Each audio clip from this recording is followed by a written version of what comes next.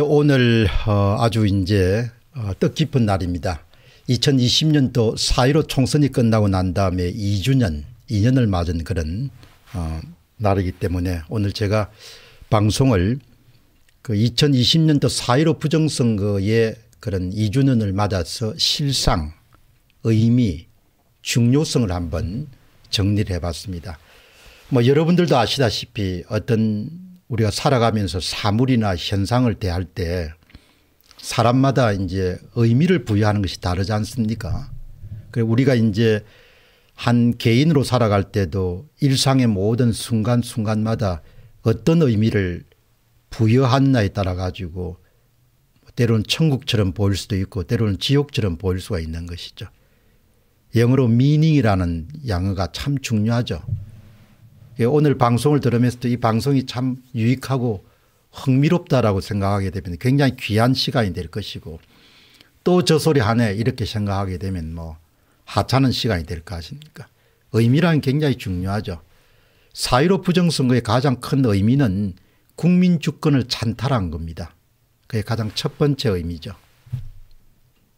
그리고 국민 주권의 창탈한 목표가 뭡니까 체제 변화를 시도하는 것이죠. 일종의 자유민주주의 체제를 전복시킨 겁니다. 그렇기 때문에 중간에 또 다시 한 번 더 제가 말씀드리겠지만 2020년 4.15 부정선거는 그냥 더불어민주당이 표를 좀 도둑질해 가지고 어, 권력을 잡았다 이런 수준이 아니고 일반 국민들의 주권을 찬탈해서 헌법 제1조 1항을 위반한 것이죠. 자신들이 원하는 국민들이 원하는 체제가 아니고 국민들이 원하는 체제는 자유민주주의 체제입니다.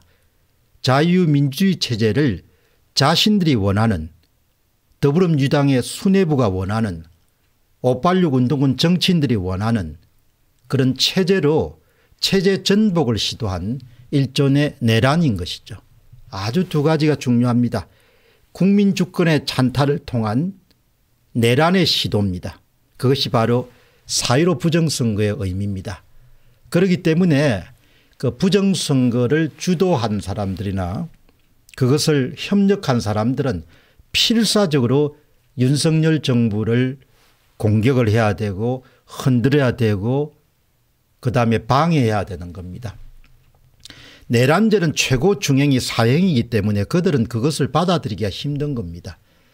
따라서 한동훈 검사장의 법무부 장관 임명도 계속 흔들어대야 되고 검수완박을 완성시켜서 부정선거 수사를 못하도록 해야 되는 것이죠. 국민 주권의 찬탈과 체제 변혁 이것이 바로 4.15 부정선거의 의미자 중요성입니다. 자 그럼 이제 오늘 우리는 4.15 부정선거의 핵심 포인트를 한번 정리해 보도록 하겠습니다. 제 방송을 자주 오시는 분들은 어느 정도 정리된 생각을 갖고 계시겠지만 그럼에도 불구하고 한번 정리하는 그런 시간을 갖도록 그렇게 하겠습니다. 이렇게 한 일곱 가지 정도로 정리를 할 수가 있겠습니다. 우선 첫 번째는 4.15 총선의 250여 개 정도의 지역구와 비례대표에서 자신들이 획득해야 될 당선자 목표수를 설정합니다. 당선자 목표수를 설정하게 되면 자연스럽게 확보해야 될 총득표수가 나오게 됩니다. 그러니까 주로 사전투표 조작을 했기 때문에 자신들이 원하는 목표를 달성하기 위해서 사전선거를 몇 표 정도 조작해야 되는가 이런 부분들이 이제 과제가 주어지게 되면 그 다음에 지역별로 후보별로 조작값이 설정이 됩니다. 2020년도 4.15 총선은 총 조작값이 20%였습니다. 사전선거에 참여한 투표자 수의 25%를 조작한 겁니다. 그 절반인 12.5%를 바로 전국의 지방자치단체장으로 출마한 그런 더불어민주당 후보에게 그 수만큼 표를 더해 주고 그 다음에 미래통합당 후보로부터 12.5%에 해당하는 표를 빼앗는 전국 평균은 25%입니다. 그러나 전국 평균이 25%지만 권역별로 그렇게 조작값이 좀 다릅니다. 예. 그래서 이제 그 다음에 구체적인 실행 방법을 동원한 것은 전산 조작에 의해서 가짜 투표자 수, 유령 투표자 수를 일단 확보하는 겁니다. 그 다음에 가짜로 만든 위조 투표지, 많은 부분들이 위조된 사전 투표지일 것으로 보입니다. 그 실물 투표지를 투입했습니다. 그러나 실물 투표지를 최대한 투입하더라도 중앙선거관리위원회가 발표한 선거 결과에 대한 데이터 수치하고 투표함에 들어있는 투표지 수가 불일치할 그런 가능성이 아주 높았습니다. 그래서 예상치 못하게 4.15 부정선거에 대한 의혹이 제기되자 법원의 투표함 및 투표지 그리고 관련 일체에 대한 그런 증거 보전 신청이 받아들여지게 됩니다. 그래서 부랴부랴 5번입니다. 법원에 제출할 수 있는 그런 투표함을 만듭니다. 이 과정에서 투표자들이 던진 모든 표를 다 버리고 통 전체를 중앙선거관리위원회가 발표한 선거 데이터에서 맞춰서 위조된 사전투표지 위조된 당일 투표지를 집어넣습니다. 그것을 5번 법원 증거용 투표지 통갈입니다. 통 전체를 다 갈아버린 겁니다.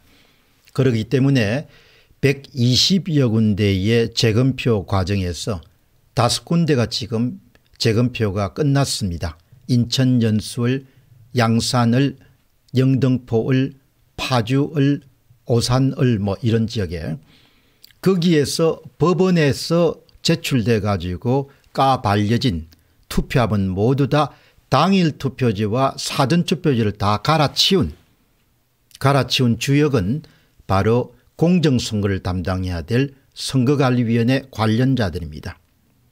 법원 증거용으로 투표지 전체를 다 통과를 한 겁니다.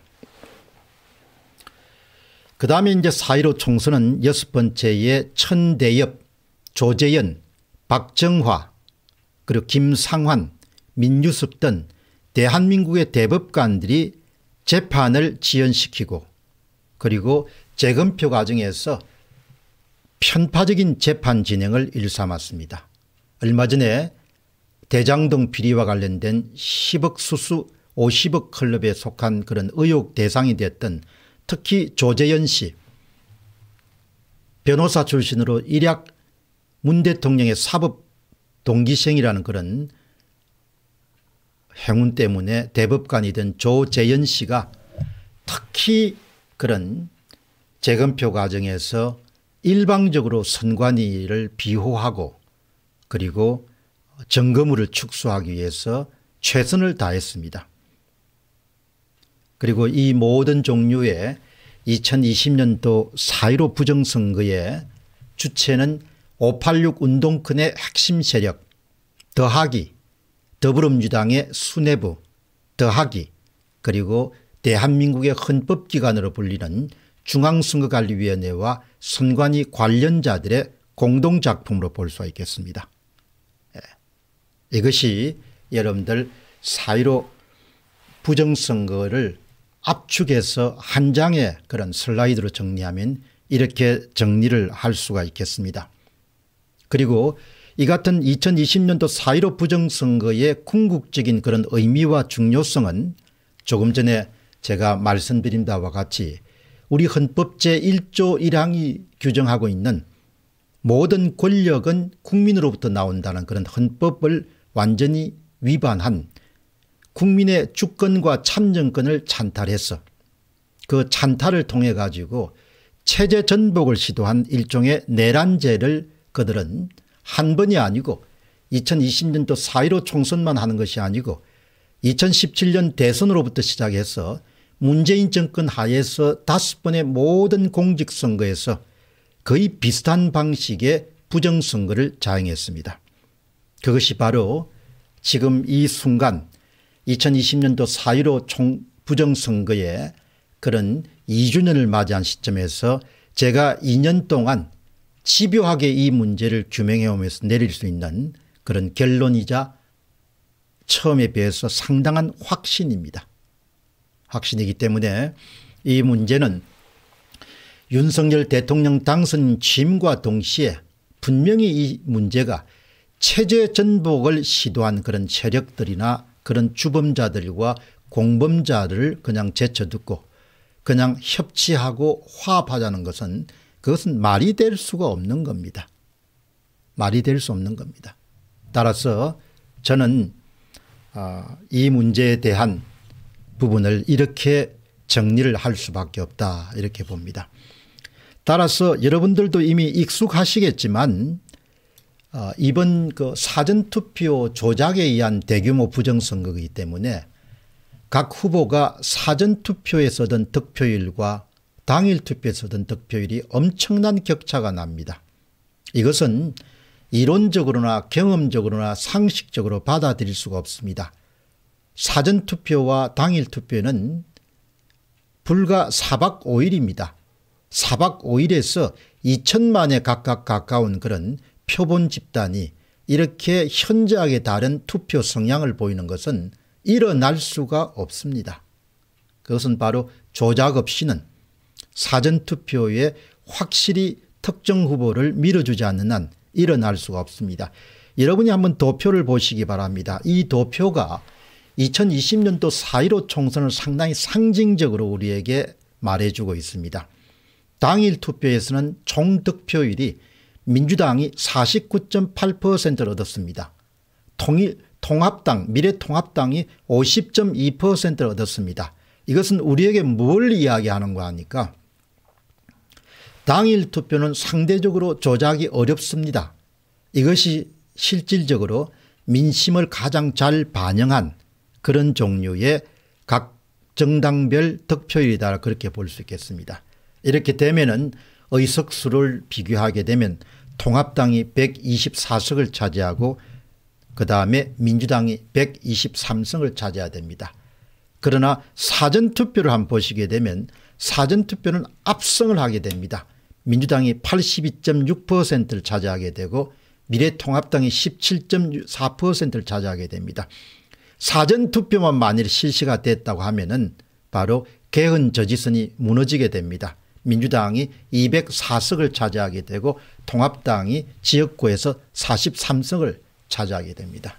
예, 그러니까 이렇게 기막힌 어, 결과가 2020년도 4.15 총선에서 일어나기 때문에 눈이 있고 귀가 있고 두뇌가 있는 사람들 같으면 엄청난 사전투표 조작에 의한 부정선거를 586 운동권 정치인들과 그리고 더불어민주당의 수뇌부가 그렇게 추진했고 그것에 철두철미하게 선관위의 상당수의 관련자들이 개입해서 이를 협조했다 이렇게 볼 수 있겠습니다. 따라서 현재 중앙선거관리위원회가 지역선거관리위원회는 뭐 민주노총 산하 관련설도 있지만 그것은 제가 직접 확인해 보지 않았지만 인적 구성에서 상당수의 문제점을 갖고 있는 것 같습니다. 그, 그렇기 때문에 현재 선관위 체제를 가지고는 대한민국에서 공정선거를 기약할 수 없기 때문에 반드시 사건의 실체가 가려지게 되면 인적 쇄신과 인적 청산이 반드시 일어나야 되겠다. 이 점을 여러분들에게 말씀을 드리도록 하겠습니다. 사전투표 조작이 여러분들 어떻게 이루어졌는가라는 부분에 대해서는 여러분들은 이미 공병호 tv 방송 시청을 통해서 숱하게 여러분들 들으셨을 것입니다. 그러나 오늘은 2주년 그런 정리하는 시간답게 간단하게라도 한번 개요에 대해서 말씀드리겠습니다. 제가 4.15 총선을 규명하는 과정에서 많이 발표했던 자료가 바로 이겁니다. 한 독자분이 이렇게 보내주신 자료를 가지고 그러니까 이런 노란색에 있는 것은 모두 다 당일 투표입니다. 왼쪽에 있는 것은 지역구 당일 투표와 그 다음에 왼쪽에 있는 것은 지역구 사전 투표입니다. 그 다음에 오른쪽에 있는 것은 바로 오른쪽에 왼쪽에 있는 비례 사전 투표고 비례 당일 투표입니다.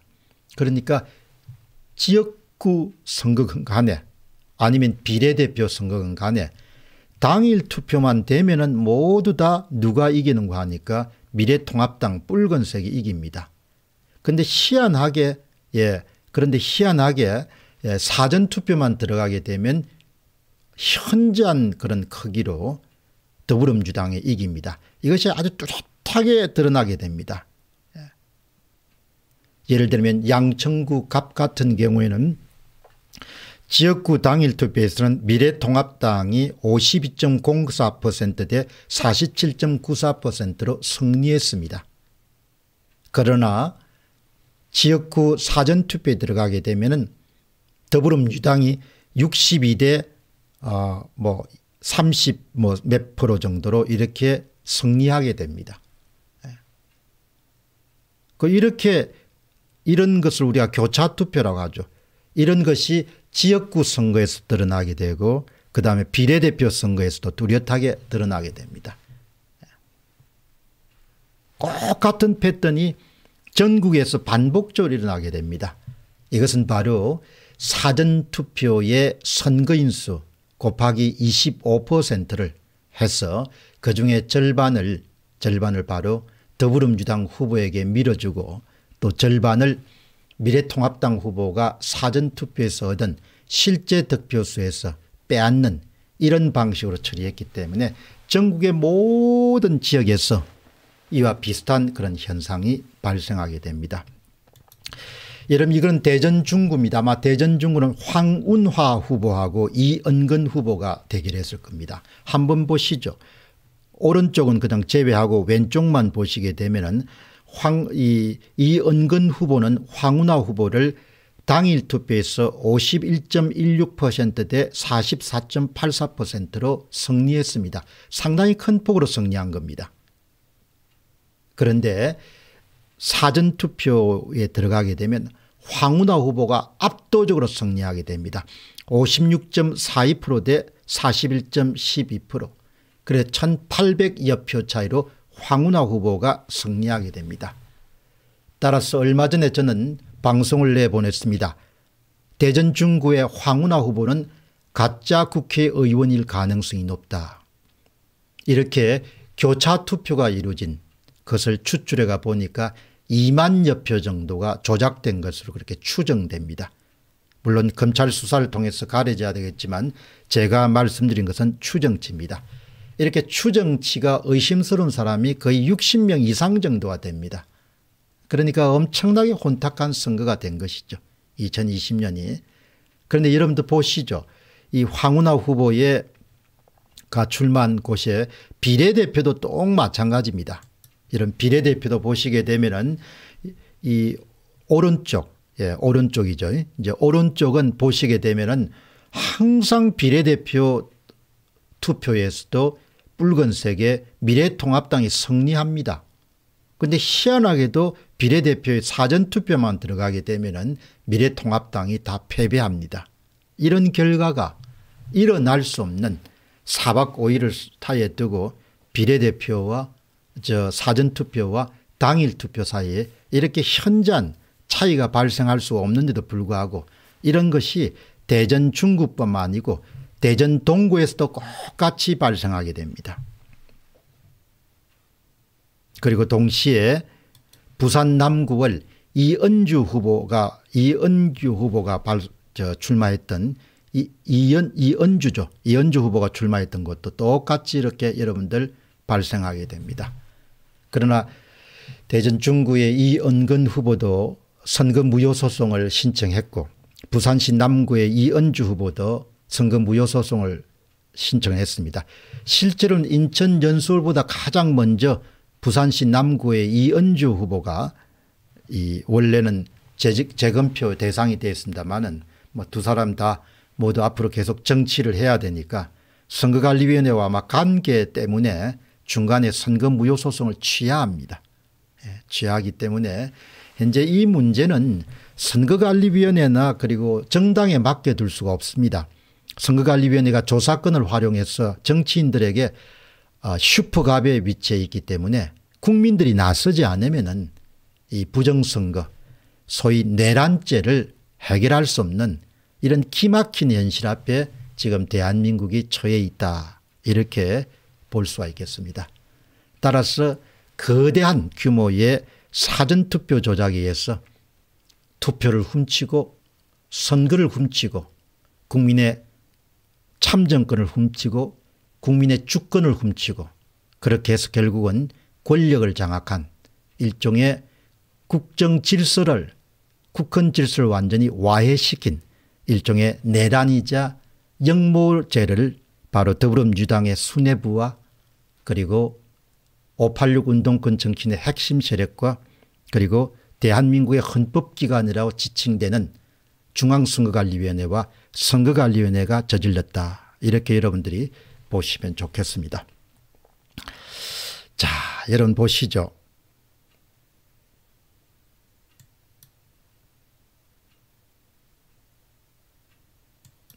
여러분 이제 이 내용을 한 번 더 종합하게 되면은 4.15 총선의 프로그램 조작이라는 것을 우리가 여러분들이 확실히 알 수 있는 것은 아주 프로그램은 이 프로그램 조작이기 때문에 선거 데이터 중앙선거관리위원회가 발표한 공식적인 선거 데이터에 어떤 규칙과 패턴과 그리고 상당히 대칭적인 그런 숫자를 많이 발견할 수 있겠습니다. 이런 수치는 나오기가 힘들죠. 여러분 보시게 되면은 한번 어 상세하게 한번 보시기 바랍니다. 이 특히 이제 그 조작이 심했던 지역 가운데 하나가 황교안 후보하고 이낙연 후보가 다퉜던 종로구입니다. 이낙연 후보의 사전투표 득표율 빼기 당일 투표 득표율이 플러스 15.61%입니다. 황교안 후보의 사전투표 득표율 빼기 당일 투표 득표율이 마이너스 15.61%입니다. 정확하게 두 수치가 플러스 15.61 마이너스 15.61이 대칭 관계를 이루고 있습니다. 예.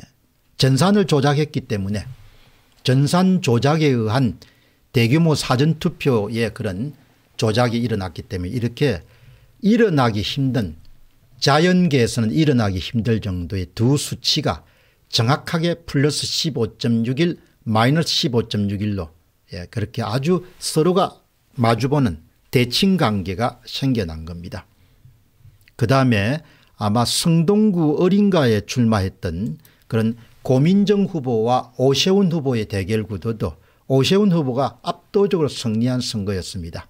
그러나 사전투표 조작에 의해서 고민중 후보가 아주 근사한 그래서 고민중 후보가 SNS도 많이 하고 뭐 이런저런 이야기 하지만 그 다 가짜 국회의원들이잖아요.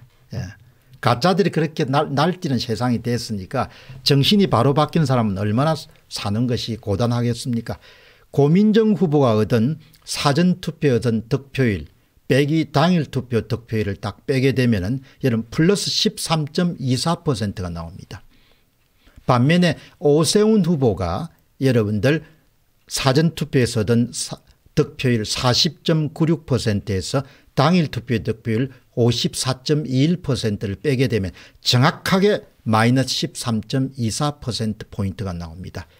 두 수치가 정확하게 대치가 됩니다. 고민정의 플러스 13.24% 오세훈의 마이너스 13.24% 두 수치가 정확하게 그렇게 대칭 관계입니다. 전산 조작을 했기 때문에 이렇게 딱 맞아 떨어지는 겁니다. 오세훈 시장은 이런 자기 수치를 보고 앞으로 부정선거 없다 그런 이야기는 입을 다무시기 바랍니다. 본인 스스로가 잘나가지고 서울시장이 된 게 아니고 국민들이 대안이 없어가지고 그렇게 뽑아준 거니까 제발 부정선거는 없었다 이렇게 오세훈 씨는 이야기를 안 해야 될 겁니다. 고대 법대가 그렇게 똥똥 대학은 아니지 않습니까 고대 법대를 나와가지고 사법고시 올랐으니까. 음. 그 다음에 대전 중구에 여기서 이은근이 아니고 권입니다. 권. 황운하 후보를 한번 보시기 바랍니다. 황운하 후보는 사전투표의 득표율이 57.84% 당일 투표의 득표율이 여러분 46.24%입니다. 빼기를 하게 되면 11.61%입니다. 대전 중구의 미래통합당 후보인 이은근 후보는 정확하게 마이너스 11%입니다. 여러분 요 위에 A, B는 정확하게 수, 그 이름은 사전투표 득표율 B는 당일 투표 득표율을 수정이 돼야 됩니다. 이렇게 정확하게 일치가 되는 겁니다. 그래 사전투표에 더하고 빼고 이렇게 한 겁니다. 그럼 이 수치를 통해서 볼 수 있는 방법은 이낙연과 황교안 후보의 그런 이 선거구에는 조작을 많이 한 거죠. 그렇기 때문에 2020년도 4.15 부정선거에서는 이른바 이건형 전 민주당 전략기획위원장이 공개했던 보정값 일명 조작값이 예, 지역별로 달랐고 그리고 꼭 떨어뜨려야 될 사람들한테는 좀 조작값이 심하게 적용이 됐습니다. 그 가운데 하나가 바로 황교안 후보가 뛰었던 그런 지역이 좀 조작값이 아주 심했던 그런 지역입니다. 그 여기서 또 고민정과 오세훈이 그 다음 심하고 그 다음에 황운하오가 이영건이다 이렇게 볼 수가 있는 것이죠. 총 조작은 뭡니까 두 개를 합쳐야 되겠죠. 그러면 거의 뭐죠 31.2 정도가 되는 것이죠. 엄청나게 조작을 한 겁니다. 예. 이렇게 여러분들 보시면 좋겠습니다. 여러분 이것을 뭐 예전에 한 번 더 소개한 적이 있지만 그래도 한 번 정도 정리하는 차원에서 보시게 되면은 이것을 또 흥미롭게 이렇게 볼 수 있겠습니다. 김두관 후보도 양산을에 출마했고 양산을에도 어, 조재현 대법관이 재검표를 주도했지만 사진도 찍지 못하게 하고 모든 이상한 투표지를 다 유효표 처리해야 됩니다. 다음에 정권이 바뀌고 4.15 부정선거의 실체가 밝혀지게 되면 대법관들에 대한 책임을 분명히 물어야 될 겁니다. 예, 대법관들의 직무유기와 그리고 직권 남용 특히 이 건은 권순일 전 중앙선거관리위원장의 이재명 후보 무죄 판결과 관련된 재판거래 의혹 외에도 또 다른 재판거래에 관여된 인물들이 저는 대법관에 있을 것으로 봅니다. 양산을의 지역을 한번 보시기 바랍니다. 이 지역은 조재현 재검표를 담당했고 그야말로 예, 완전히 편파적인 그런 진행을 했던 곳입니다. 엄청난 위조 투표지가 출토된 지역이 바로 경남 양산을입니다. 양산에 사시는 분들도 도저히 김두관 후보가 오를 수 없는 지역이다 이렇게 합니다. 어마어마한 부정선거를 감행한 겁니다. 그러니까 김두관 후보도 가짜 국회의원 가능성이 상당히 높은 사람입니다. 김두관 후보가 나동윤 후보를 한번 보시기 바랍니다. 21대 총선에서 김두관 후보는 사전투표 득표율이 55.4%였습니다. 당일 투표 득표율이 44.6%입니다. 두 개를 빼게 되면 10.8%입니다. 이렇게 큰 수치가 나올 수가 없습니다. 나동영 후보는 사전투표 득표율 당일 투표 득표율은 마이너스 10.4%입니다. 두 개가 여러분 딱 대칭을 이루죠. 서로 딱 마주보게 됩니다. 한 사람 플러스 10.8%한 사람 10.4% 조작했다는 증거입니다. 또 다른 증거가 뭡니까 예.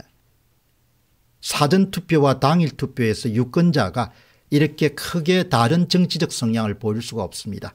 제가 늘 강조하지만 이 차이 B는 대개 1에서 3%를 벗어나면 안 됩니다. 그런데 10%가 나온 겁니다. 이것은 그야말로 100% 조작입니다. 그러니까 586 운동권 정치인들이 문과 출신들이 많아서 숫자가 갖고 있는 그런 무서움을 잘 모르는 것 같습니다. 선관위 관련자들도 그걸 모르는 것 같습니다. 투표함이 없다. 투표지 다 소각했다. 걱정할 거 없습니다. 중앙선거관리위원회 공식적으로 발표한 선거 데이터에 범죄가 그대로 드러나 있는 겁니다. 이것은 손을 전혀 댄 게 아닙니다. 중앙선거관리위원회가 공식적으로 발표한 선거 데이터의 바탕을 두고 범죄를 밝혀낸 겁니다. 여러분 바로 밑에 보시기 바랍니다. 20대 총선입니다. 2016년 3월 13일 날 실시됐던 꼭 같은 경남 양산구 지역구 득표 현상입니다. 새누리당의 이장근 후보가 출마했고 민주당의 서형수 후보가 출마했습니다.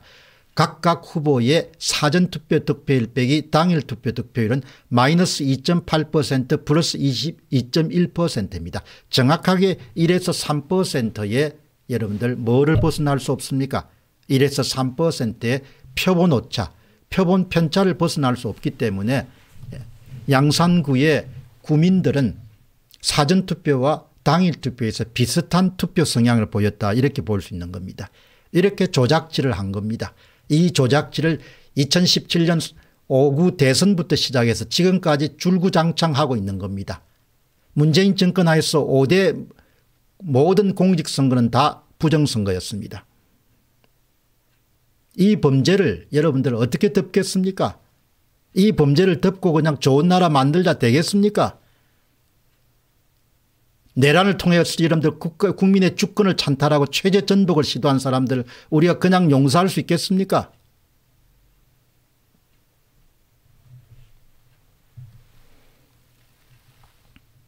일어날 수 없는 일이 일어난 겁니다. 여러분 이것은 서울 영등포를 아주 억울하게 여러분들 바로 김민석 586 운동권의 아주 중심적인 세력인 오, 김민석 후보도 다 가짜입니다. 가짜. 박용찬 후보가 압도적으로 승리한 선거였습니다. 여러분 위에 비정상을 한번 보시기 바랍니다. 김민석 더불어민주당 후보의 사전투표 득표율은 58.1%였습니다. 당일 투표 득표는 43.6%입니다. 여러분 두 개를 빼면 플러스 14.5%가 나옵니다. 어마어마한 큰 수치입니다. 어마어마한 큰 수치란 것은 여러분 뭘 뜻합니까 사전투표에 엄청나게 많은 가짜투표를 집어넣었다는 겁니다. 박용찬 후보 보시기 바랍니다. 미래통합당입니다. 사전투표 득표율이 36%입니다. 당일 투표 득표율이 49.5%입니다. 두 개를 빼면 얼마 나옵니까 마이너스 13.5%입니다. 이렇게 큰 수치가 나올 수가 없는 겁니다.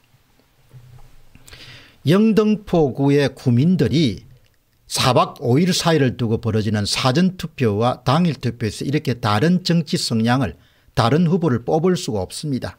쉽게 이야기하면 당일 투표에서는 박용찬 후보를 뽑고 사전 투표에서는 뭐죠 김민석 후보를 뽑았다는 겁니다. 이런 미친 결과가 어떻게 나오겠습니까 그러니까 이것은 뭘 우리에게 이야기하냐 중앙선거관리위원회 자체가 뭘 자인하는 겁니까 우리는 부정선거를 했습니다.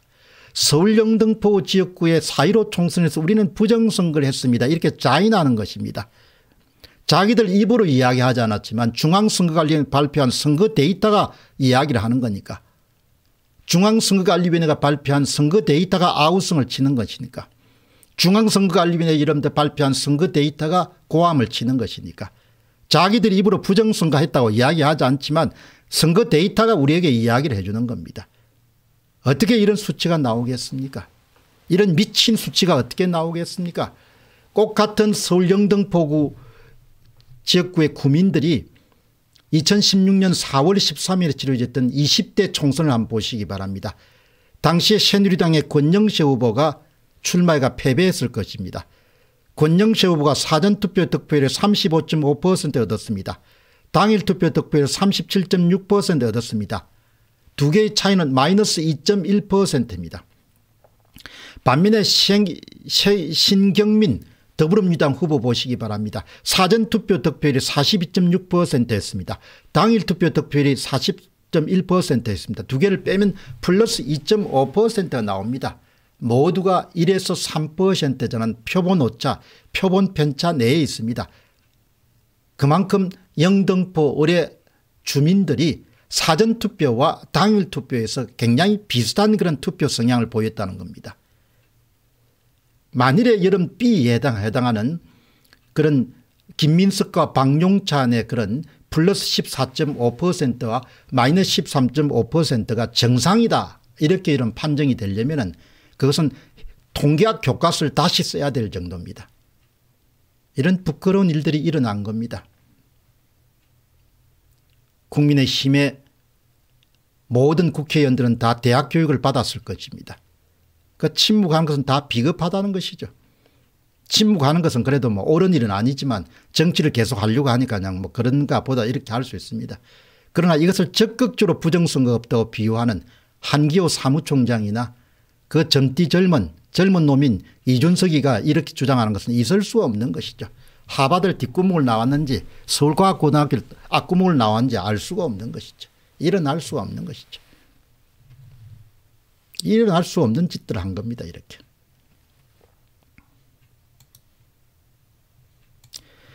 여러분 다음은 예 김민석 권영세 이렇게 정리가 된 거죠. 자 그렇게 해서 뭐 여러분들이 잘 아시다시피 이 총 집결한 결과는 바로 여러분이 아주 익숙한 그런 아, 좌측은 20대 총선 2016년 총선은 정상이었고 그다음에 21대 총선은 아주 비정상이었다. 예, 그렇게 볼 수가 있고 그다음에 이제 정당별도 예, 그러니까 친여 성향을 갖고 있는 위성 정당인 더불어시민당과 열린민주당은 예, 모두 다 이렇게 밀어준 거죠. 플러스 쪽으로 사전투표 득표일 빼기 당일 투표 득표일에서 예, 사전투표 조작을 통해서 플러스를 한점 올려준 겁니다. 그러나 모든 예, 친여 성향이 아닌 여당에 반박하는 그런 미래통합당의 위성정당인 미래한국당은 마이너스 8.25% 우리 공화당은 마이너스 17.44% 그리고 새벽당은 마이너스 37.04% 기독자유당은 마이너스 39.74% 이렇게 비례대표 사전투표에서 엄청난 조작을 했기 때문에 지금 대법원이 비례대표에 대한 기독자유통일당의 그런 소위 선거 무효 소송을 진행을 할 수가 없는 겁니다. 그래서 민주숙 대법관이 그냥 진행 못하겠다 하고 그렇게 도망을 가버린 거죠. 이런 상황이 지금 벌어졌습니다. 이 하단에 이름 아주 중요한 것은 광주 전북 정남 지역은 이렇게 영하고 아주 가깝습니다. 예, 그러니까 전남 지역의 사전투표 득표일 빼기 당일투표 득표일이 이렇게 0에 가깝습니다. 이게 정상이란 겁니다. 그러니까 광주 전북 전남은 3구 대선에선 조작이 있었습니다만 2020년도 4.15 총선에서는 일체 조작이 없었습니다. 예. 그렇기 때문에 저는 전남 전북 그리고 광주를 조작 청정 지역이다 이렇게 부르는데 이번 3구 대선에서는 또 이것도 예외 없이 조작을 했습니다. 이렇게 이제 상황을 한번 정리를 하시면 되겠습니다. 자, 그럼 4.15 부정선거의 의미입니다. 이것을 이제 우리가 어떻게 해석해야 되겠는가.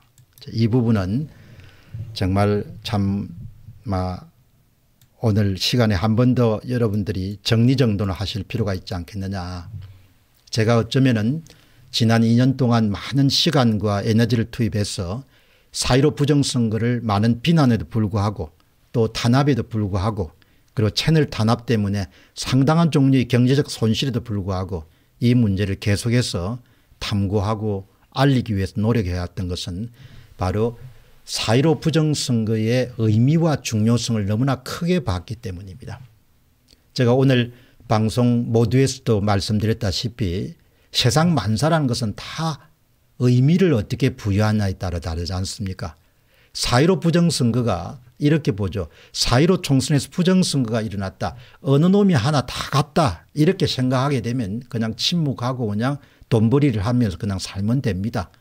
그런데 4.15 부정선거에 있어서 저거는 체제를 전복시키는 행위이기 때문에 국민이 노예가 되는 것이고 내가 노예가 되는 것이고 자식들이 노예가 되는 것이다. 이렇게 또 다른 의미를 부여하게 되면 그야말로 그것을 규명하기 위해서 노력할 수밖에 없는 것이죠. 그 우리가 흔히 이야기하는 의미 미닝이라는 것은 각자 주관적으로 부여를 하지 않습니까 저는 이4.15 부정선거를 심지어는 1950년 6.25 동란 이후에 대한민국이 직면한 가장 최대의 그런 공동체 차원의 국가적 난제다 이렇게 보는 겁니다. 6.25 전쟁이 외침이었고 문재인 정권 하에서 586 운동권들이 주도한 그런 부정선거는 내침인 겁니다. 두 가지가 다 일종의 내란인 겁니다. 내란이 일어난 겁니다. 그 내란이 일어났는데 그 내란에 대해서 뭡니까 내란이 일어나지 않다고 주장하는 사람이 정주제인 겁니다. 내란이 일어나지 않았다고 주장하는 사람이 조갑제인 겁니다. 그래서 나는 그 사람들하고 상종을 하기가 힘든 겁니다. 내란이 일어났는데 내란이 일어났다고 주장하는 친구가 이준석입니다. 내란이 일어났는데 내란이 일어났다고 하는 게 하태경입니다. 내란이 일어났는데 내란이 일어나지 않다고 한 것이 한기호입니다. 이 키막힌 현실 앞에 우리가 서 있는 겁니다. 저는 내란이 일어났다고 생각하기 때문에 제 인생의 가장 소중한 2년 정도를 여기에 투입한 겁니다. 중요하다고 생각하기 때문에 무진장 중요하다고 생각하기 때문에 모든 것은 의미를 어떻게 부여하느냐에 따라 다른 것이죠. 그 의미를 부여할 때 사심을 내려놓고 공정하게 공평하게 접근하게 되면 사람이 실책을 범하지 않습니다. 이준석이나 하태경이나 한기호나 문재인이나 이해찬이나 임종석이나 이건영이나 양정철이나 윤호중이나 송영길이나 우상호나 역사적 단죄를 피할 수 있겠습니까 피할 수 없을 겁니다. 피할 수가 없습니다. 거짓이 진실을 이겼으면 이렇게 인류의 삶이 존속될 수가 없었을 겁니다. 그러니까 역사를 바라보는 관점이 다 다르기 때문에 그렇게 죄를 저지르는 겁니다. 자기가 나서 자라서 엄청난 언덕을 입은 공동체에 엄청난 해악질을 하고 가는 겁니다. 무사할 것 같습니까? 무사 안 합니다. 어떻게 무사하겠어요. 20년 집권과 50년 집권을 여러분들 꿈꿨지만 불과 뭡니까 1년도 안 됐은 양 여러분도 문제가 생기지 않습니까 그게 사는 겁니다. 그래 진실되게 살아야 되는 거죠. 사람들이 올바르게 탄압이 있더라도 예. 한동훈 이번에 검사장이 법무부 장관 되는 걸 보면서 제가 마음에 참 들었던 것은 사람이 직장생활을 하면서 그렇게 어려움이 왔을 때 어려움을 피하기 위해 사표를 내면 안 된다는 것이죠. 참아내야 되는 겁니다. 예. 와신 상담 한다고 생각하고 참아내니까 좋은 일이 있지 않습니까 그래서 아, 이 양반이 참 나이는 그렇게 많지 않지만 상당히 사람이 이 저 심지가 굳은 사람이구나 그렇게 생각. 심지 굳은 데다 또 머리까지 좋으니까 대단한 거죠. 다른 사람들이 훔칠 수 없는 것이 심지지 않습니까 사람이. 예? 굳건하게 뭔가 우직하게 밀어붙이는 거지 않습니까 거기다 사람이 머리까지 좋은, 좋으면 그는 정말 대단한 거죠. 예. 여러분 우리는 공동체의 구성원으로서 대한민국이라는 나라를 구성하고 있습니다. 운명적으로 대한민국이라는 나라에 태어났지만 대한민국이라는 나라와 계약을 맺고 있는 겁니다. 그 바로 계약이 헌법에란 그런 소위 가장 상위법에 대한 부분을 우리가 묵시적으로 다 동의하기 때문에 대한민국 국민인 겁니다. 헌법과 계약을 맺은 겁니다. 이런 것을 참 안 가르치죠 우리가 예, 학교 교육에서. 대한민국 국민이란 것은 헌법을 준수할 의무와 책임이 있는 겁니다. 그 헌법 1조 1항이 뭡니까 헌법 1조 1항이 대한민국은 민주공화국이라는 거지 않습니까 대한민국의 주권은 국민에게 있고 모든 권력은 국민으로부터 나온다는 거 아닙니까 얼마나 대단한 겁니까 이게 우리가 왕정을 사는 게 아니라는 겁니다. 이시왕조나 조선왕조와 이름도 결별하고 1948년도에 그 당시에 해안을 가졌던 걸출한 지력을 가졌던 이승만이라는 인물이 있었기 때문에 정말 하나님의 보호하심으로 대한민국이 우리 역사에서 처음으로 민주공화국으로 출범한 거 아닙니까 아마도 재헌헌법에 이 내용이 들어있을 겁니다. 예. 재헌헌법을 언젠가 한번 읽었을 때 너무나 가슴이 뜨거웠습니다. 대한민국 헌법의 제1조 1항은 대한민국은 민주공화국이다. 대한민국 헌법의 제1조 2항은 대한민국은 주권은 국민에게 있고 모든 권력은 국민으로부터 나온다. 이, 이 중요한 헌법에 대한 이 명제를 대한민국을 구성하고 있는 모든 구성원들은 묵시적으로나 명시적으로나 그것을 계약의 일환으로 받아들이는 겁니다. 그것을 받아들인다는 것은 이 규정에 일종의 배반을 하거나 모함을 해서 안 된다는 것을 뜻하는 것이죠. 그러나 사이로 부정선거를 저지른 586 운동권 정치인들과 더불어민주당의 수뇌부와 그리고 이것을 인지하면서도 묵인했던 자들과 중앙선거관리위원회와 대한민국의 선거관리위원회에서 사이로 부정선거에 관여했던 모든 자들은 바로 뭘 범한 겁니까 대한민국 헌법의 1조 1항과 2항을 위반한 겁니다. 여러분 그것이 바로 내란죄입니다. 4.15 부정선거의 가장 큰 의미는 내란죄를 범했다는 겁니다. 내란죄를. 국토의 참전 또는 국헌 문란을 목적으로 하여 폭동하는 죄를 말한다. 내란죄는 외환죄와 같이 국가의 존립에 관한 범죄이지만 외환죄가 외부로부터의 국가의 존립을 위태롭게 하는 것인데 반해서 이 죄는 국가의 내부에서 그 기본적 질서를 공격하는 것이다. 명쾌하게 정리가 됐네요. 4.15 부정선거는 국가의 내부에서 국가의 기본적 질서를 공격해서 와해시키려고 하는 의도를 실행한 폭동인 겁니다. 엄청난 범죄인 겁니다.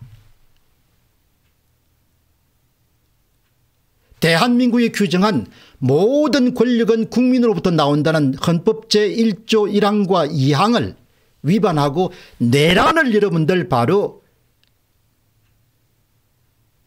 계획한 것이 아니고 실행에 옮긴 겁니다.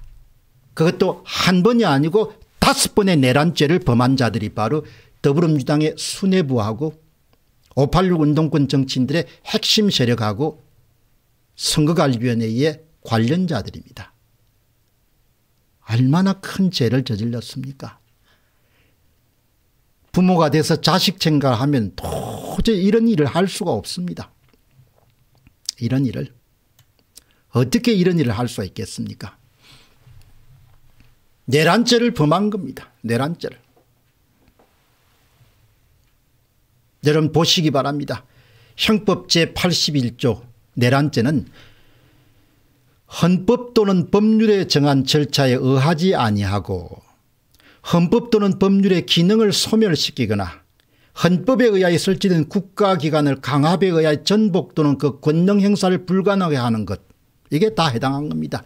2017년 대선 2018년 지방선거 2020년 총선 2021년 또 4.7 보궐선거 2022년 3구 대선이 다 뭡니까? 헌법 또는 법률의 기능을 소멸시키거나 헌법에 의해 설치된 국가 기능을 강압에 의해 전복 또는 그 권능 행사를 불가하게 하는 것. 이게 바로 뭡니까? 내란죄의 핵심이고 부정선거 4.15 부정선거의 핵심자들에게 준용돼야 될 적용돼야 될 법조문인 겁니다. 수계는 사형 무기징역 또는 무기검거에 처하고 모의에 참여하거나 지휘하거나 기타 중요한 임무에 종사하거나 살상 파괴 또는 약탈행위나 자는 사형 무기 또는 5년 이상의 지형이나 검거에 처하고 부하 수행하거나 단순히 폭동에 관련하는 5년 이하의 징역 또는 검거에 처한다. 여러분 이게 이게 핵심입니다.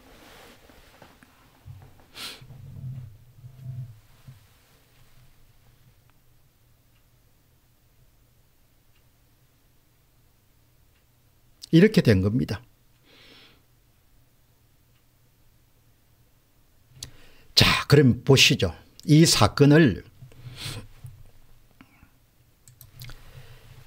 이 세계일보의 편집인인 황정미 씨가 쓴 칼럼이 여러분들 2020년 5월 5일입니다.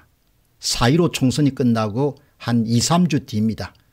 바로 이게 너는 다 계획이 있구나. 계획이 다 있다는 겁니다. 2017년 대선에서 이미 검증을 받고 2018년 지방선거에서 성공하고 그래서 확실하게 뭡니까 조작 선거를 한 것이 4.15 부정선거입니다. 진화하는 민주당의 빅데이터 선거 시스템 4.15 총선 당시 비보도 자료란 민주연구원 원장 양정철의 21대 총선 판세 분석 보고서를 SNS에서 봤다. 지역구 155석 우세 26석 경합 우세로 분류한 자료는 실제 결과와 크게 다르지 않았다. 이건영 더불어민주당 전략기획위원장은 선거 다음 날 총 예측 지역국 의석수 163석을 그대로 마친 전략기획위 대외비 자료를 페이스북에 올렸다. 양정철 이건영 콤비의 자신감이 읽힌다. 선거기간 여론조사를 지역별로 쪼개 계속 돌리면서 어느 정도 어느 정도 예측치를 높일 수 있다. 여기에 빅데이터 시스템이 가미됐다. 민주당은 지난 대선 때에도 중앙선거관리위원회와 통계청 자료 등 지역별 유권자 빅데이터를 선거 운용에 활용했다. 지난 대선 때 예, 이게 뭡니까 2017년도 5구 대선 때부터 중앙선거관리위원회 통계청 자료 등 지역별 유권자 빅데이터 선거활동에 활용했다. 그때부터 부정선거를 했다는 겁니다. 황정미 칼럼입니다. 세계일보 편집인의 칼럼입니다. 2020년도 5월 5일 날 나온 겁니다. 여기 다 들어 있습니다. 계획이 다 있었다는 겁니다. 이번 총선에서는 양정철 원장 주도로 이동통신사와 독점 계약을 맺고 선거용 시스템을 구축했다는 언론 보도가 눈길을 끌었다. 연구원이 합법적 범위 안에서 어떤 데이터를 받았는지 알 수 없다. 정치 마케팅이 가능한 자료인지는 추후 따져볼 문제다. 분명한 것은 민주당의 빅데이터 선거 시스템이 갈수록 진화하고 있다는 사실이다. 분명한 것은 민주당의 빅데이터 선거 시스템이 갈수록 진화하고 있다는 것이다. 뭐 쉽게 야인 부정선거를 했다는 겁니다. 부정선거를. 선관위에 축적되어 있는 사전투표용지에 인쇄된 QR코드를 이용해 가지고 이 빅데이터 선거 시스템이 갈수록 진화하고 있다는 것이 바로 황정미 세계일보 편집인이 4.15 총선이 끝나고 얼마 되지 않았던 2020년도 5월 5일 날 쓴 칼럼입니다. 다 계획에 따라서 추진된 겁니다. 계획에 따라서. 대부분의 민주당 수뇌부들이 알았겠죠. 모를 리가 있겠습니까 빠꾸미들이 다 거기에 있을 건데. 다만 주역으로 꼽히는 사람은 두 사람입니다. 예, 주역으로 꼽힌 사람들은 여러분이 보시는 이 두 사람이 예, 주역으로 뽑히죠. 왼쪽 분이 양정철 씨고 오른쪽 분이 이건영 씨입니다. 4.15 총선 당시에 양정철 씨는 민주연구원장이었고 오른쪽의 사람은 바로 민주당 전략기획위원장입니다. 이번 3구 대선에서 이재명 후보 측의 기획단장을 활동했 겁니다. 제목 보시기 바랍니다. 양정철 빅데이터로 맞춤 유세 이근영 지역구 163석 판세 딱 맞춰 예. 기사가 4월 17일 나왔습니다. 2020년 4월 17일 날. 두 사람이 실질적으로 이 문제를 주도했다. 아마 실무적인 것은 제가 추측하건대는 이건영 씨가 대부분 맞지 않았냐 생각이 들고 예, 그렇습니다. 실무적인 부분은 양정철 씨가 어느 정도 개입하고 있는지는 모르겠지만 실물적인 부분을 또 이제 잘 아는 사람이 이건영 씨니까 이번에 또 이재명 후보 캠프에서 기획단장으로 2021년도 8월 달에 모셔가 가지고 이번에 결국 했지만 이번에는 이제 실패를 한 거죠. 천기를 누설한 사건이 바로 이거죠. 예. 여러분 이거 익숙하시죠? 이것이 바로 4월 16일 날 잠시 이건영 씨가 자신의 페이스북에 올렸던 바로 보정값, 조작값입니다. 권력별로 조작값을 어떻게 적용할 것인지 이게 여기에 나와 있는 것이죠. 사전투표 보정값 민주당 163석 쪽집게 예측 유튜브 4.15 개표 방송에서 사전투표 까면 이긴다를 반복한 이유 이건영 위원장 자료 공개 파장 이건영 민주연구원장 부원장 이건영 전략기획위원장이 민주연구원 부원장이네요. 21대 총선 더불어민주당 선거전략기획위원장 겸 정치 컨설팅 윈지 코리아 컨설팅 CEO 예, CEO가 이렇게 발표를 한 겁니다. 아, 예, 청기를 누설한 거죠. 우리는 조작했습니다. 이렇게. 음. 자, 4.15 총선 사전투표 조작 의혹이 연일 논란이 되고 있는 가운데 선거가 치르기 전에 민주당의 전략기획위원회에서 만들었던 대외비 자료에 민주당이 4.15 선거에서 얻은 163승이 정확하게 예측돼 있어 논란이 될 것으로 보인다.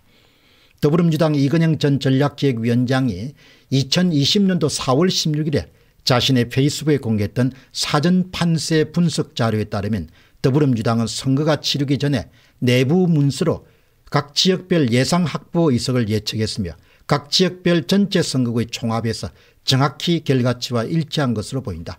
권역별로 살펴봐도 수도권 서울 경기 인천의 101석 선거 결과는 103석 대전 춘천 20석 선거 결과 20석 광주 전라 27석 선거 결과 27석 부산 울산 경남 8석 선거 결과 7석 대구 경북 0석 0석 강원 제주 7석 선거 결과 6석으로 거의 모든 지역의 예측이 실제 선거가 정확히 일치했다.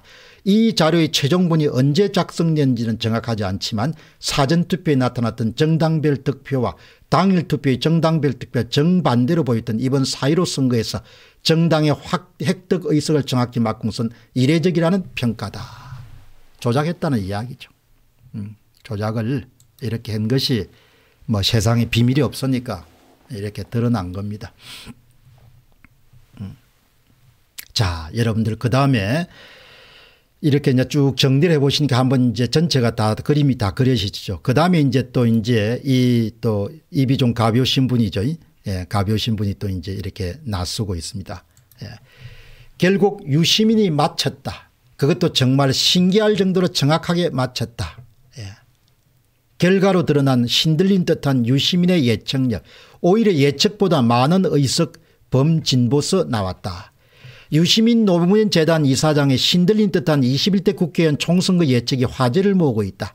유시민 이사장은 더불어민주당을 포함한 범진보 진영이 180석을 확보할 수 있다고 말한 바 있다. 그는 지난 4월 10일 날 2020년 유튜브 채널 알릴레오에서 저는 범여건이 180석을 해야 된다고 봐요. 범진보 180석 민생당까지 다 합쳐가지고 불가능한 것은 아니라고 보고 있습니다. 말했. 다만 그는 자신의 발언이 논란을 일으킬지 모른다고 우리한 듯 그렇게 되면 좋지 않나 희망사항이라고 이렇게 덧붙였다. 결과적으로 유시민 이사장의 법령저 180달은 실현이 아니라 현실이 됐다. 대래 그가 예측한 것보다 더 많은 의석이 나왔다. 예. 정치판에 깊숙이 발을 딛고 있는 사람들은 다 안다는 것이죠. 기본적으로. 모를 리가 없는 겁니다. 모를 리가. 예. 그래서 다음에 이 부정선거의 검찰 수사가 이루어지게 되면 관련자들을 색출할 때 철두철미하게 색출을 해야 될 것 같아요. 주범 종범뿐만 아니고 인지한 자들까지 제가 볼 때는 다 엮어야 될 것 같습니다. 예. 뭐더 중요한 것은 이렇게 법여건의 사람들이 다 알고 있었다고 볼 수밖에 없는 것은 뭐 또 정봉주 씨가 정확하게 이야기하지 않습니까 예.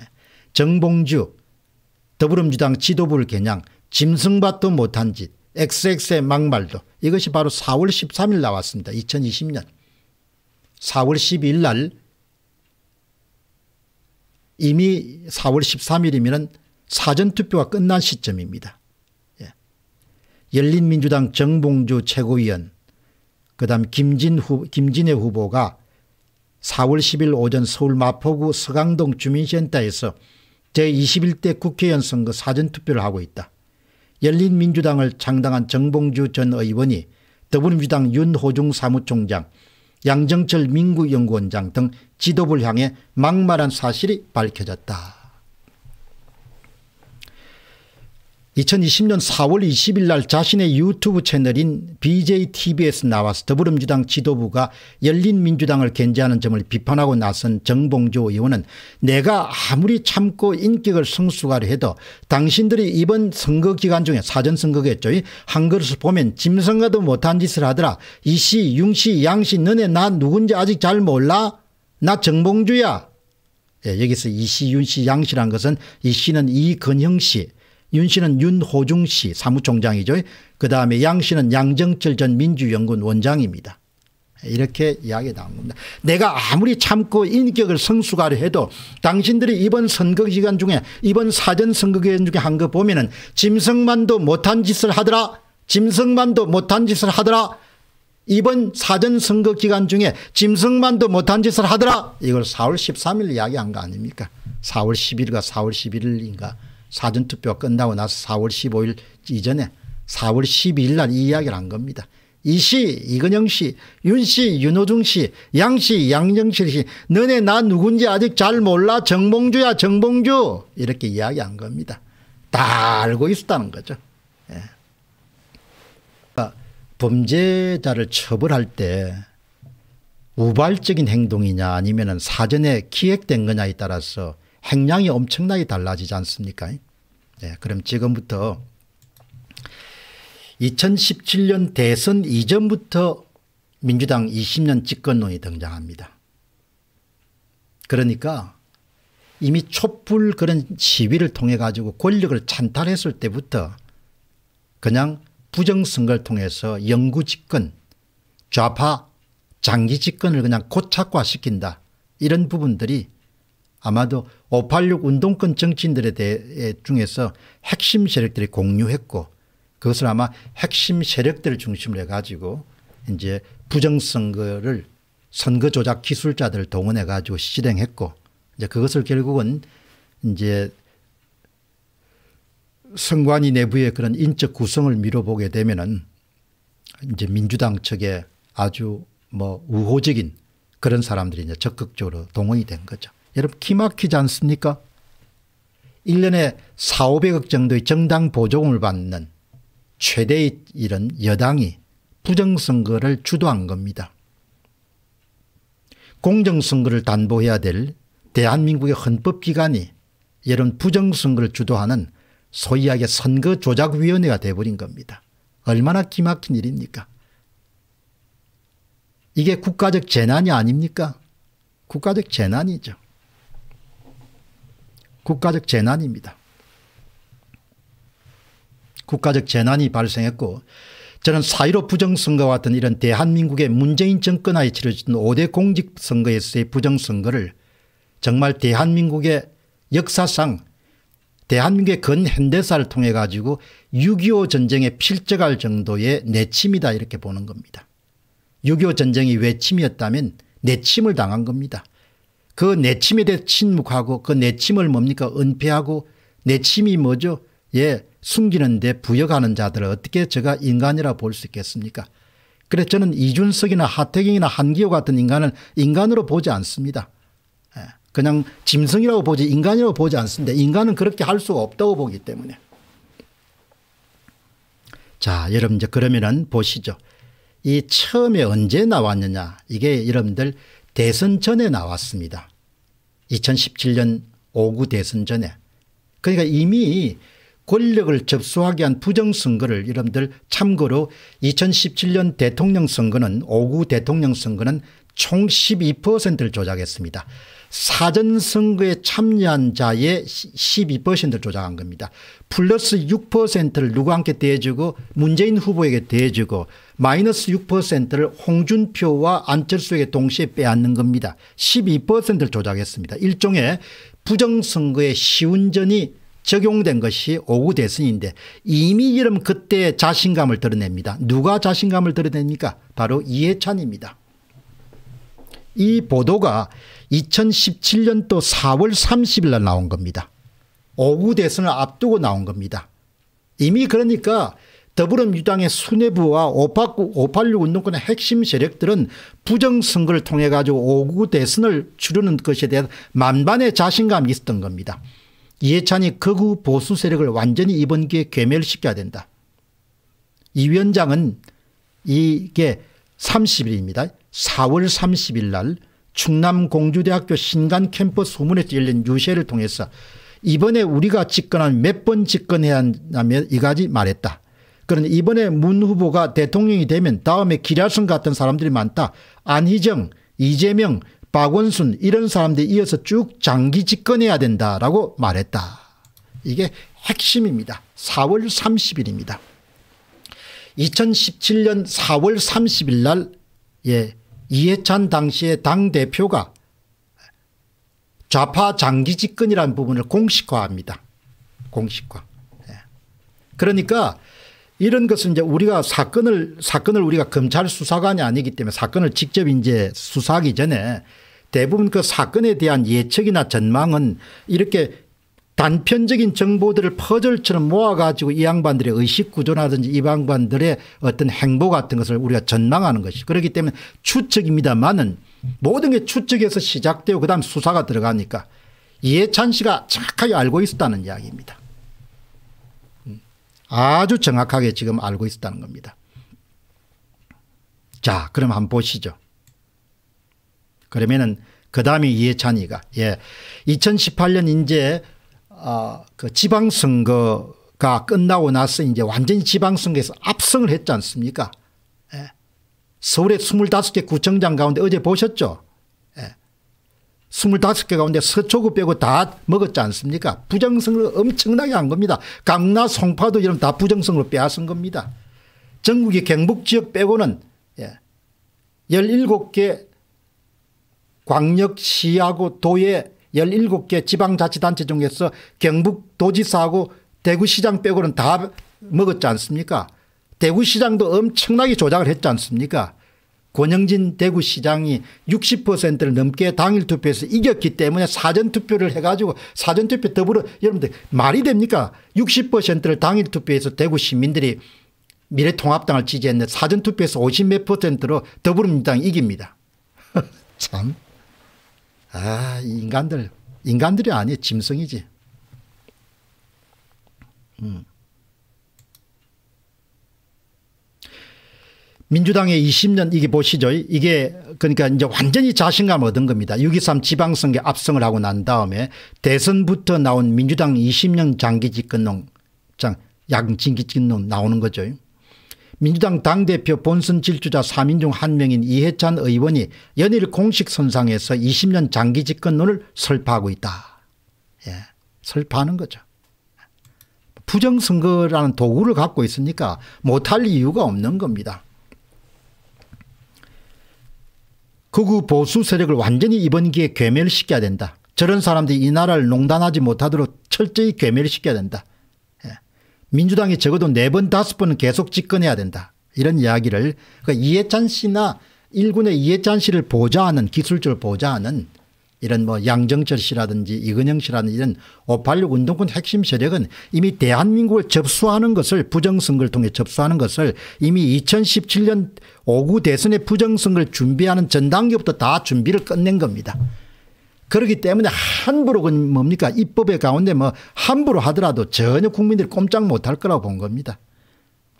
윤석열 대통령 당선이 참 당선된 것은 자유애국 시민들의 노력도 있었지만 진짜 하나님의 도우심입니다. 예, 완전히 기정사실화합니다. 추미애 20년 연속 정당 만들겠다. 2017년 8월 27일입니다. 8월 27일.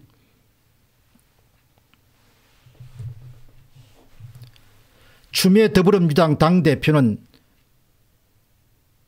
8월 27일 취임 1주년 일성으로 최소 20년 이상의 연속 집권을 목표로 하는 적당을 만들겠다.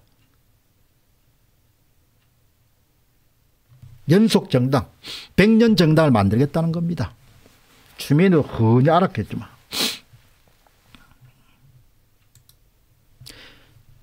(2018년 1월 29일 날 6월 13일 지방선거를 앞두고 민주당에서 올해 세 번째 터져나온 20년 집권론 추미애 김민석 이어서 이해찬 네 다섯 번 계속 집권해야 된다. 부정선거를 할 수 있으니까 뭐 집권을 못할 이유가 없지 않습니까 한번 정리하게 되면 2017년 4월 30일 날 보수 세력을 괴멸시키고 박원순 안희정 이재명 이런 사람들이 쭉 장기 집권해야 된다. 이게 20년 장기 집권의 신호탄이 올라간 것이고 선거 전입니다. 5구 대선 전에 2017년 그 다음에 지방선거 전인 2018년 1월 16일 날 최소 20년 집권 비전 제시하겠다 추미애 예. 여러분 그 다음에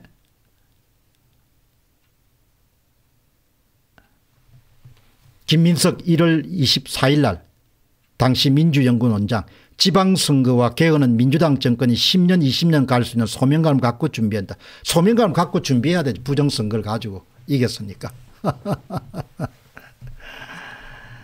이렇게 하려고 젊은 날 민주화운동이라고 했는지 모르겠어요. 정말 악한 인간들입니다. 정말 악한 인간들입니다. 예. 이렇게 그들이 대한민국의 국민 주권을 찬탈하고 나라를 완전히 그냥 지, 저거 마음대로 그냥 예, 그렇게 완전히 그냥 만들 생각을 굳히고 추진한 겁니다. 예. 그리고 이제 이것이 2018년 9월 10, 9월 10, 예, 9월 16일입니다. 예, 이게 이해찬 20년 집권을 넘어서 민주당 창당 63주년 기념 행사 때 대통령은 10명은 덜 당선시켜야 한다. 50년 집권론을 외칩니다. 더불어민주당 이해찬 대표는 9월 17일 앞으로 민주당이 대통령 10분을 더 당선시켜야 된다고 했다. 이해찬 대표는 이날 국회에서 열린 민주당 창당 63년 기념회에서 민주당은 우리나라 민주주의를 이끌어가는 유일한 기둥이라고 해도 과언이 아니다. 부정선거를 하는 당이 어떻게 이, 이 민주당은 해체가 돼야 됩니다. 이게 사실이 알려지게 되면 정당 보정을 받고 뭡니까 나라를 때려 엎었으니까 그게 부정선거를 해서 엎었으니까 그게 정당이 아니죠. 그거는 통진당처럼 해체 대상이 돼야 되는 것이죠. 앞서 제시한 20년 집권론에 다시 한 번 더 나아가서 50년 집권론을 꺼냈다. 이 짓을 한 겁니다. 이 짓을. 이런 짓을 한 겁니다. 젊은 날에 민주화 투쟁을 했다는 자들이 나라를 이렇게 그냥 박살 낸 겁니다. 박살. 음. 그리고 부정선거 해보니까 편하고 좋거든요. 예. 그러니까 이게 부정선거를 해보니까 편하고 좋으니까 질지 몰랐을 겁니다. 예. 이렇게 또 해고하는 겁니다. 나는 왜 20년 집권론을 말했나. 아, 부정선거를 하는데 집권론을 못할 이유가 없지 않습니까. 부정론을, 부정선거를 하는데. 그죠? 예. 사회로 부정선거의 핵심 포인트는 예. 여러분 정리하게 되면 이렇게 정리하는 겁니다. 당선 목표수를 설정하고 지역별 후보별로 조작값을 설정하고 전국에 차이, 차이가 있었습니다만 평균적으로 한 25% 사전선거에 참여한 총수의 사전투표 선거인수 전산 조작에서 유령투표자를 확보하고 실물 투표를 해가지고 쑤셔 넣은 겁니다. 쑤셔 넣었기 때문에 중앙선거관리 발표의 선거 결과하고 투표지가 완전히 다른 겁니다. 전혀 예상하지 못하게 법원에서 투표함을 법원에 내라 법원 점거용 투표지를 만들기 위해서 완전히 통을 다 갈아버린 겁니다. 법원에서 우리가 재검표한 것은 다 가짜 투표지인 겁니다. 이런 상황에서 대법관들이 거의 개법관들이 돼버린 겁니다. 재판지원과 편파적 재, 예. 대법관들이 개법관이 되고 선거관리위원회가 선거조작위원회가 돼버린 겁니다. 더불어민주당과 586 운동권 정치인들과 선거관리위원회가 공동작품을 한 겁니다. 내란을 일으킨 겁니다. 내란을. 이것이 바로 사유로 부정선거의 가장 중심적인 부분입니다. 자, 오늘 방송을 내일, 내일은 이제 구체적인 점검을 한번 여러분들 다시 복습하는 기회를 갖게 되겠는데 이제 오늘 한 번 더 이제 끝을 내면은 뭐 이런 거겠죠. 586 운동권 정치인들과 더불어민주당의 핵심 수뇌부하고 그리고 대한민국 헌법기관인 선거관리위원회가 힘을 합쳐가지고 정교한 다섯 번의 부정선거에 의한 좌파 장기집권과 영구집권을 실행에 옮긴 내란인 겁니다. 그것이 바로 사유로 부정선거에 대해서 2년간 규명해온 제가 내린 판단입니다. 부정선거에 의해서 좌파의 영구집권을 실행에 옮긴 바로 뇌란을 일으킨 겁니다. 대한민국 헌법 제1조 1항을 근본적으로 무너뜨린 겁니다. 사유로 부정선거가 여러분들 밝혀지게 되면 더불어민주당은 해체돼야 됩니다. 중앙선거관리위원회와 선거관리위원회는 다 인적 쇄신과 인적 청산과 함께 다 해체돼야 됩니다. 국회는 가짜들이 우글거리기 때문에 다 해체되고 여러분들 다시 뭐죠? 재선거 이루어져야 됩니다.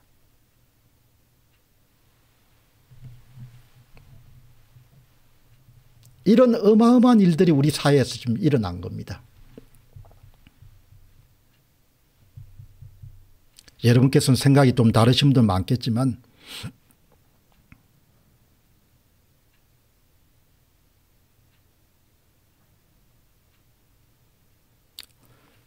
육동수님이 야바이꾼보다 못한 것들이 있는데 예, 야바이꾼도 못하죠 사기꾼들보다 예.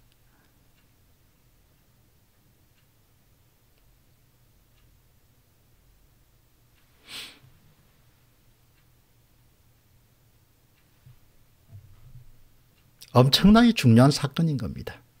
예, 어놈이 되면 뭐하노 뭐 이런 정도 차원이 아니고 나라를 그냥 뒤엎는 그런 내란을 일으킨 겁니다.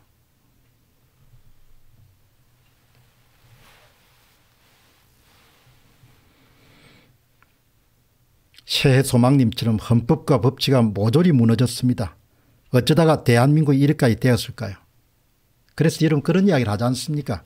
자유민주주의 체제란 것은 회랑 아주 좁은 그런 이 좁은 권력에 이 아슬아슬하게 들어있는 게 자유민주주의란 거죠.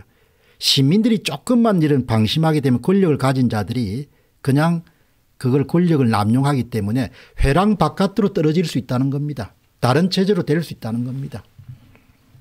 음. 다행히 이번에 이제 브레이크를 걸었으니까 예, 윤석열 대통령 당선인께서 착하게 실상을 이해를 하시고 예, 정말 나라를 구한다는 차원에서 정권 차원의 문제가 아니고 주변에 정치판에서 오래 살아야 될 사람들은 그렇게 하면 힘듭니다. 국정 운영에 참 어렵습니다. 예? 우리가 뭐 협치해야 됩니다. 통합해야 됩니다. 이렇게 이야기를 듣더라도 이거는 협치하고 통합의 대상이 될 수 없는 겁니다. 부정선거가 어떻게 협치하고 통합의 대상이 될 수 있겠습니까 그래서 오늘 4.15 부정선거 2주년을 맞아서 제가 여러분들에게 전체 개요를 말씀드리고 그 다음 이 사건이 갖고 있는 의미와 중요성이 뭐냐 이런 부분을 저의 관점에서 한번 해석해서 여러분 말씀을 드리겠습니다. 내일 시간은 이제 4.15 부정선거와 관련된 실물 그런 위조들을 한번 정리하는 그런 시간을 갖도록 그렇게 하겠습니다. 많지 않은 분들이지만 잊지 않고 9시 공병호의 실시간 방송을 찾아주셔서 대단히 고맙습니다. 현재 이제 공병호 TV는 채널 탄압이 워낙 심하기 때문에 예, 집사람은 기도를 많이 하니까 예, 당신 아마 윤석열 대통령 당선이 당선이 되고 나면은 채널에 대한 그런 탄압이 많이 해제가 될 것이다 이렇게 저한테 기대 반 그냥 낙관 반 그런 격려를 합니다만은 뭐 어떻든 어 많이 보든 보지 않든 간에 이 불의를 보고 침묵하는 것은 이 시대를 사는 사람이 아니다라 생각하기 때문에 계속해서 진실을 알리고 또 사실을 알리는데 여러분과 함께 힘을 다하도록 그렇게 하겠습니다. 예. 방송 마치고 나면 뭐 미워해야 될 건데 웃음밖에 안 나오네요. 참 아이들 생각하면 어떻게 이런 짓을 하겠습니까? 음. 그 사람들은 뭐 깜짝같이 했다 이렇게 생각하지만 데이터에 다 그게 남아있지 않습니까? 무슨 짓을 했는지. 이완용이 보다 못한 놈들입니다. 한마디로. 유해찬 씨 몰랐겠습니까? 추미애 씨 몰랐겠습니까? 김태년 씨 몰랐겠습니까? 홍영표 씨 몰랐겠습니까? 윤호중 씨 몰랐겠습니까? 송영길 씨 몰랐겠습니까? 우상호 씨 몰랐겠습니까? 김민석 씨 몰랐겠습니까? 문재인 씨 몰랐겠습니까? 양정철 씨 몰랐겠습니까? 이은영 씨 몰랐겠습니까? 조혜주 씨 몰랐겠습니까? 김재한 씨 몰랐겠습니까? 권순일 씨 몰랐겠습니까? 노정희 씨 몰랐겠습니까? 고한석 씨 몰랐겠습니까?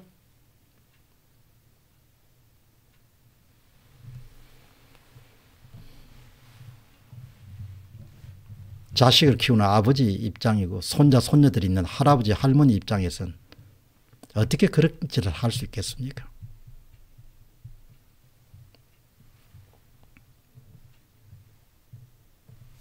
이 사람 얼굴 한번 보세요.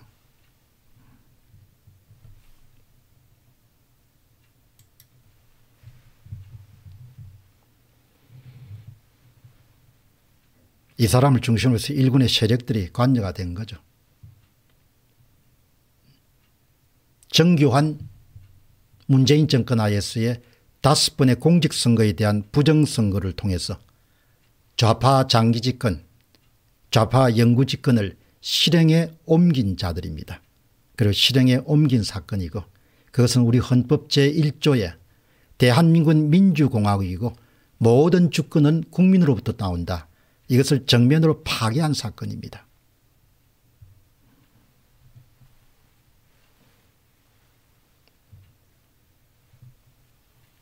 저는 이런 불의를 참을 수가 없는 겁니다. 이 나라가 저것 거가 아니지 않습니까?